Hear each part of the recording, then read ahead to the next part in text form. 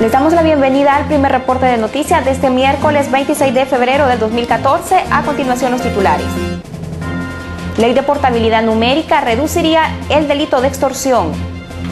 Fuerza Interagencial interviene en los aeropuertos de Honduras. Suben las ganancias de la estatal brasileña Petrobras en un 11% interanual. Las autoridades hondureñas pretenden reducir el delito de extorsión una vez que entre en vigencia la ley de portabilidad numérica que se aprobó hace más de dos años en el Congreso Nacional. A la fecha, la ley no había sido aplicada debido a que la Comisión Nacional de Telecomunicaciones CONATEL estaba trabajando en el reglamento, el cual ya fue publicado en el diario oficial La Gaceta, por lo que se espera que el 30 de abril entre en marcha.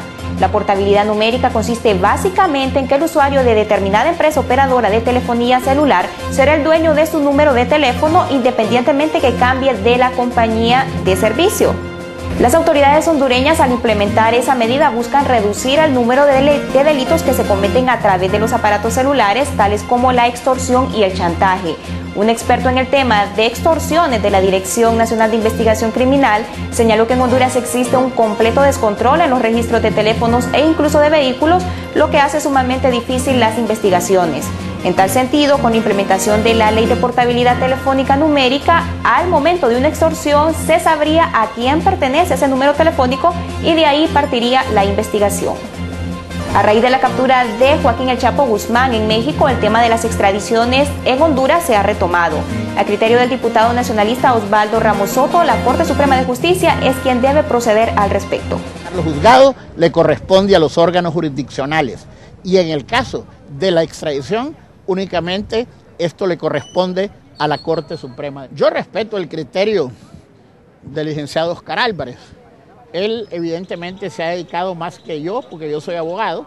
Él ha sido secretario de seguridad en el gobierno del presidente Maduro y en el gobierno del presidente Lowe. Eh, no sé si este sea el momento, pero en cualquier momento que se presente una acción orientada a solicitar la extradición de un hondureño o de un extranjero que conviva con nosotros, pues tiene que proceder la actividad jurisdiccional que desarrolla en este caso única y exclusivamente la Corte Suprema de Justicia. Los afrodescendientes del país y particularmente del departamento de Colón se oponen a la creación de zonas de empleo y desarrollo económico sede, popularmente conocidas como las ciudades modelo, porque en su opinión harán desaparecer a sus comunidades. Realizar es presentar un recurso de inconstitucionalidad contra lo que son las sedes anteriormente conocidas como la red, que en este momento en Honduras lo que se está haciendo es presentarla, eh, aprobar las mismas leyes nada más que con diferentes nombres y eso sí no. Bueno, el recurso eh, afecta varias partes. Uno es la soberanía nacional, la autonomía que tenemos como pueblo, eh, incluso tememos a que puedan desaparecer algunas de nuestras comunidades garífunas en el departamento, en la zona norte, específicamente en el departamento de Colón, algo que nos tiene sumamente preocupados, ya que eh, aparte que no se está dando el método de lo que es el CPLI, la consulta previa, libre e informada, entonces para nosotros eh, este proceso no se ha manejado con transparencia en ningún momento, no conocemos exactamente aún todavía después de tres años de estar en este movimiento, no conocemos exactamente dónde se va a establecer lo que es la primera eh, ciudad modelo. Primero se decía que era desde Trujillo hasta el río Sico, ahora se menciona Choluteca y así sucesivamente. Se van presentando diferentes eh, asuntos, pero con la misma intención. Hacemos una pausa para que vea la sección de las divisas.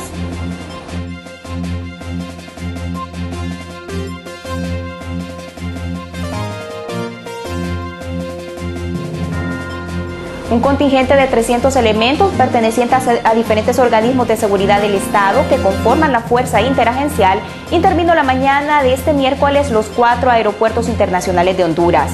En el Aeropuerto Internacional de Toncontín, en Tegucigalpa, la Fuerza Interagencial, compuesta por unos 60 miembros acompañados de caninos, detectores de bombas y explosivos, estuvo encabezada por el Director Nacional de Servicios Especiales de Investigación, el comisionado Rubén Martel García no permitir ningún tipo de ilícitos y darle seguridad al viajero en beneficio de la población, instruyó Martel a los miembros de la fuerza, quienes conformaron dos anillos de seguridad en la terminal aérea capitalina. El oficial indicó a los periodistas que el trabajo es de prevención, seguridad y control en los cuatro aeropuertos mediante la prevención del delito en sus diferentes modalidades.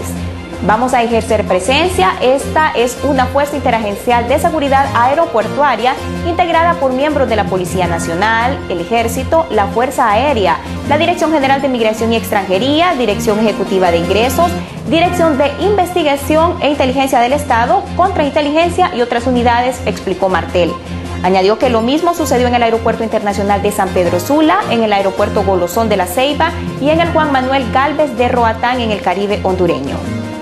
Juristas internacionales en materia de derechos humanos llegaron ayer al país para ser observadores del proceso en el que será nombrado el nuevo ombudsman hondureño.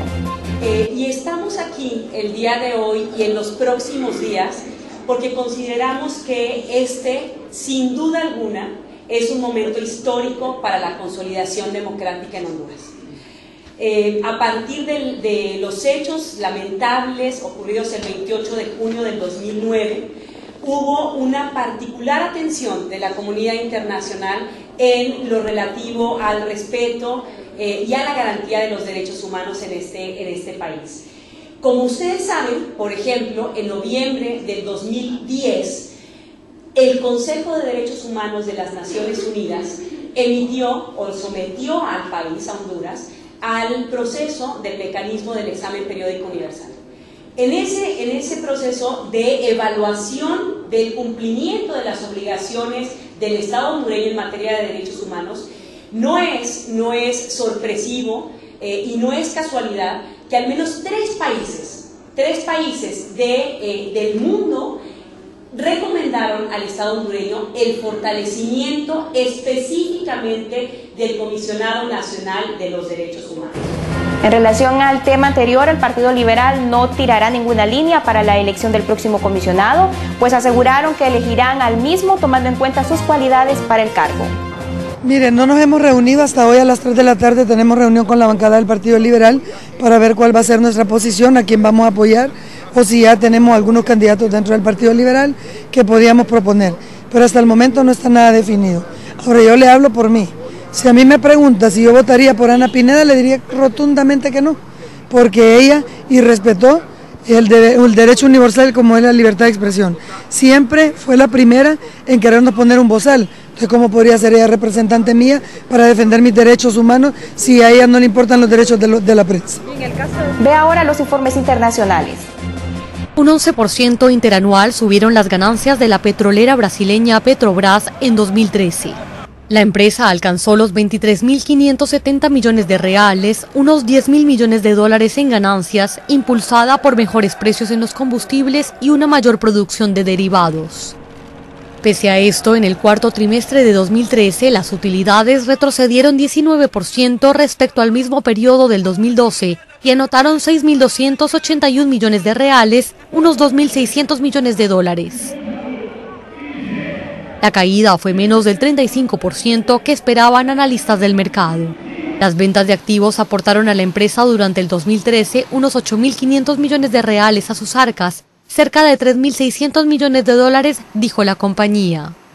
En tanto, la producción de petróleo y gas natural totalizó los 2,5 millones de barriles por día en 2013, un 2% inferior al del año anterior.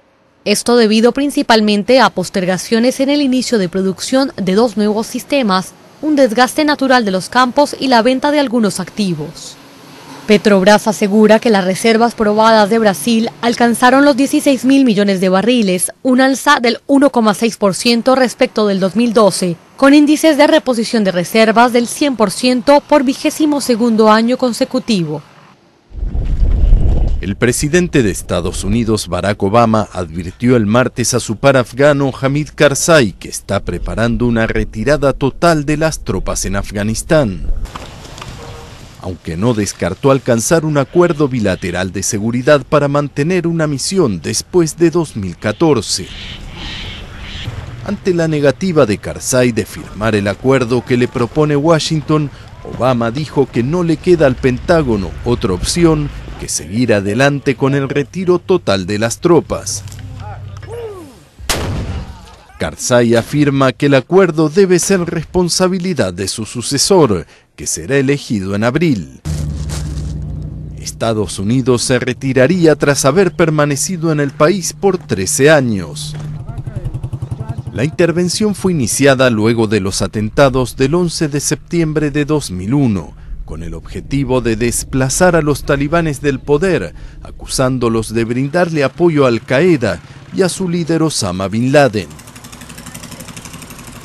Si las tropas norteamericanas abandonaran por completo el territorio, se abriría un periodo de incertidumbre en un país cuyo gobierno es muy frágil y debe su supervivencia al apoyo internacional.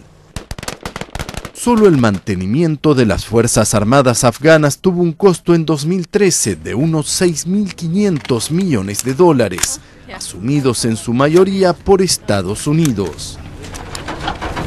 Los invitamos a que estén pendientes de nuestro siguiente reporte informativo de este miércoles.